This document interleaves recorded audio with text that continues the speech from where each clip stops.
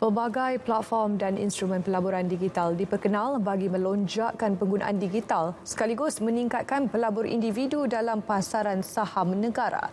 Menteri Kewangan Tengku Datuk Seri Zafrul Tengku Abdul Aziz berkata, ia meliputi pelaburan mata wang, saham dan unit amanah.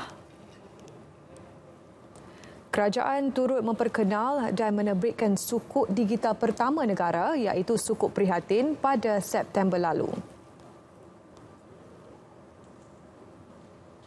Terbitan untuk membantu memulihkan ekonomi pasca COVID-19 ini telah berjaya menarik perhatian pelabur-pelabur pelasaran modal dengan langganan 666 juta ringgit melebihi jumlah asal 500 juta ringgit walaupun dilanggan melalui platform digital secara keseluruhannya.